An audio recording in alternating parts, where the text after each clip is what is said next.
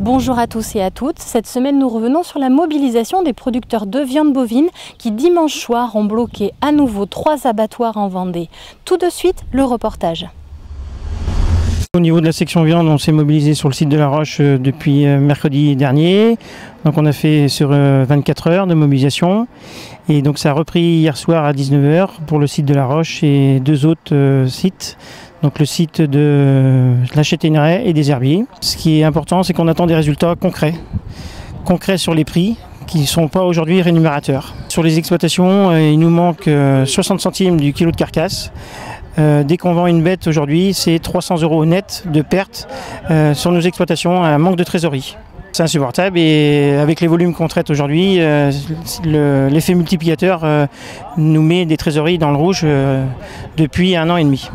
On a des marchés à l'export, il faut pouvoir les saisir et il faut que l'État impose aux entreprises d'aller à l'exportation pour valoriser notre carcasse à notre coût de production, ce qui, permettra d'augmenter le prix de la viande sur l'ensemble du terrain français, car d'ailleurs on aura un souffle qui se créera grâce à ça et la viande sera payée à sa juste valeur. Donc on demande à l'État de prendre ses responsabilités et d'imposer aux abattoirs d'y aller.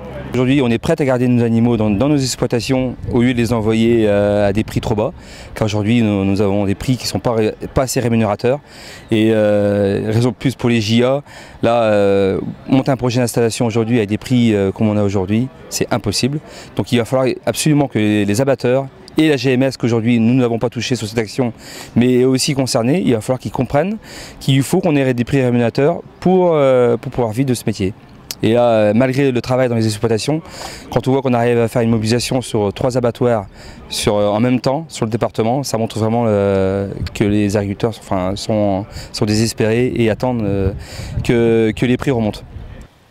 Alors la mobilisation des producteurs, certes de Vendée, mais aussi de toute la France, a eu pour écho l'organisation d'une table ronde qui s'est tenue le 12 mai dernier sous l'égide du ministère de l'Agriculture et avec tous les acteurs de la filière aval. Cédric Mandin y était, on l'écoute. Ce qui leur sort, c'est euh, ce qu'a dit le ministre, il n'y a pas eu d'accord. Euh, on a par contre euh, trouvé un ministre tout à fait conscient de la situation des éleveurs et qui a insisté auprès de la filière sur cette situation-là. Par contre, eh ben, euh, déçu, oui clairement déçu, où euh, j'ai pas senti de la part des acteurs de la filière la volonté euh, de réagir sur le prix.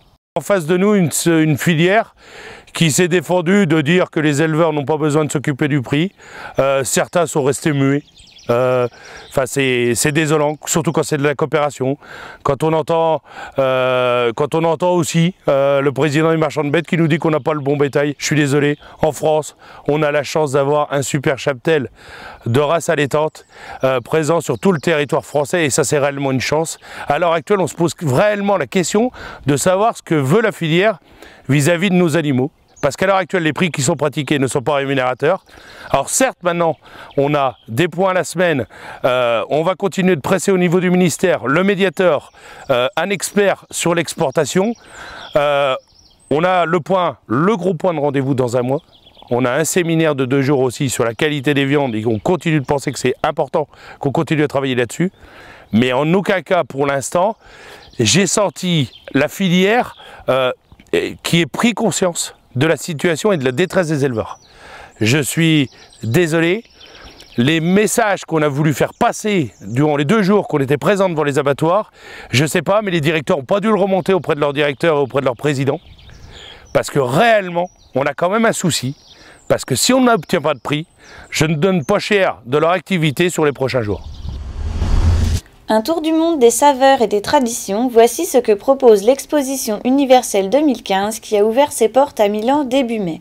Avec pour thématique Nourrir la planète, énergie pour la vie, elle fait découvrir aux visiteurs le monde complexe de l'alimentation et la façon dont chaque pays présent conçoit son agriculture et la gastronomie. Si certains pays mettent en avant la chimie ou leur grande capacité de production, la France a mis en scène le lien entre son agriculture très diversifiée, l'agroalimentaire et la convivialité de sa gastronomie. Une diversité présente dès l'entrée du pavillon français, bordé d'une soixantaine de variétés de céréales, légumes, fruits et autres vignes. Le parcours plonge ensuite les visiteurs au cœur d'un bâtiment en bois de 2000 m2, dans un univers mêlant la technologie aux aliments qui font la renommée du pays.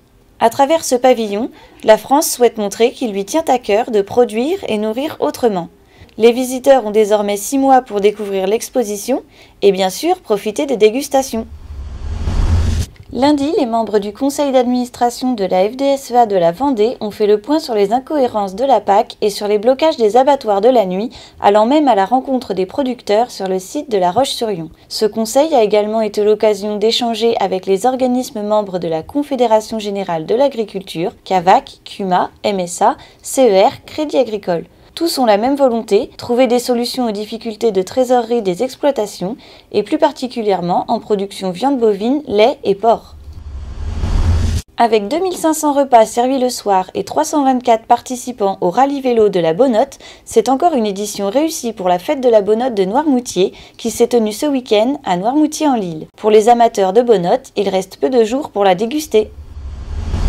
Anne-Marie Coulon, maire de Mouzeuil-Saint-Martin et conseillère départementale, succède à Yves Vinet à la présidence de l'Association des maires et communautés de communes de Vendée.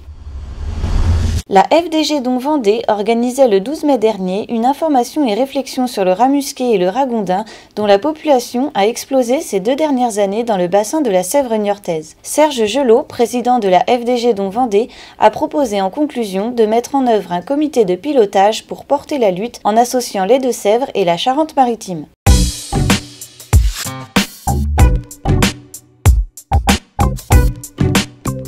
L'interface RPG propose des outils pour revoir l'ensemble des contours des îlots comme demandé par la nouvelle PAC. L'outil copier-coller permet de copier un îlot à partir de ceux déclarés en 2014. Pour activer l'outil, cliquez sur le bouton Copier, puis dans l'îlot que vous allez récupérer, l'îlot devient bleu avec la mention Nouveau. Cliquez alors sur le bouton Coller. Pour ajouter l'îlot à votre dossier, il suffit de lui donner un numéro. Pour tracer un nouvel îlot, chaque clic permet de définir un point du périmètre de l'îlot. Pour utiliser les boutons suivants du menu, il faudra d'abord cliquer dans l'îlot sur lequel on veut agir afin de le sélectionner. Pour modifier un contour, cliquez sur le sommet du polygone, le rond bleu, sa couleur devient blanche, puis déplacez le sommet sélectionné à l'aide de la souris. Supprimez le sommet sélectionné en utilisant la touche Supre du clavier. Cliquez sur le bouton Valider dessin en bas à droite au-dessous de la zone graphique. La surface graphique de l'îlot est alors recalculée. Vous pouvez suivre l'évolution de la surface de l'îlot en dessous de la zone graphique l'outil d'exclusion d'une surface dans un îlot. Cette fonction permet de dessiner un trou dans un îlot afin d'exclure une surface que vous n'exploitez pas dans l'îlot. Sélectionnez la fonction exclure. À l'intérieur de l'îlot, dessinez la surface à exclure en cliquant successivement sur les points constituant son contour. Double-clic sur le dernier sommet pour fermer le tracé du trou. La surface de l'îlot est alors recalculée automatiquement dans la zone d'affichage des informations sur la zone graphique cliquez sur le bouton Valider dessin.